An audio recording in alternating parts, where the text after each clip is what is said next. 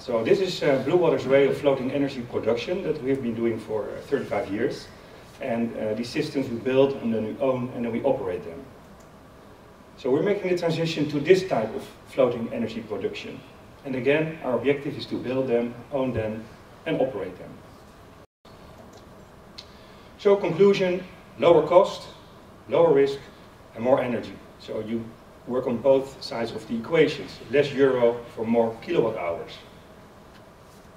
And this is why this is our choice for building, owning and operating uh, these platforms. Same way as this is our choice for building, owning and operating the FPSOs. And now coming back to that first platform we saw being built. It's uh, the Texel Island. It's about one hour from Amsterdam, very convenient for uh, demonstrating the platform and for learning. It's a depth of approximately 30 meters, uh, flow up to 2 meters a second, and uh, the cable uh, goes to the shore, to the grid, so it's a grid-connected uh, system. Very interesting about this project is the way we set it up. We talked to all companies that could be involved in the future supply chain, and we formed a, uh, a kind of consortium, uh, a project partnership, to make this project a reality. So we have Damen, worldwide shipbuilder, building the platforms, Van Oord doing the installation of the anchors and of the cable, the power cable, and hooking up the platform and bringing that in, back in when we're going to change turbines. Tocardo, uh, supplying the turbine uh, in the beginning and in the end. Schottel, supplying the turbine in the middle. So we're going to test multiple turbines on the same platform. Show more of this. Nylacast, supplying uh, special components that we're testing.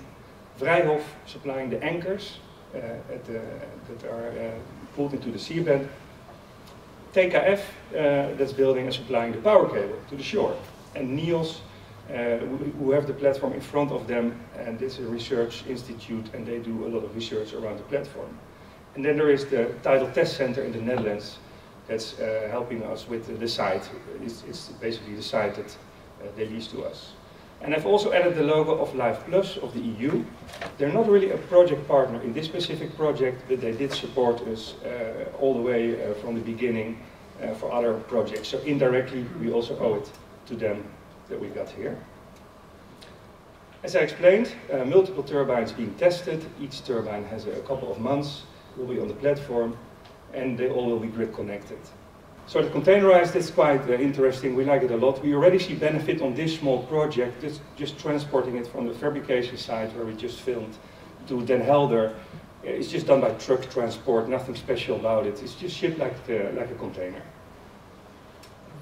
So it's a very uh, uh, nice project.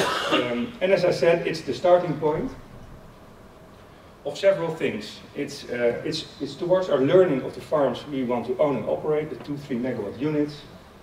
We're doing other tests at EMEC in our, in our way to get there.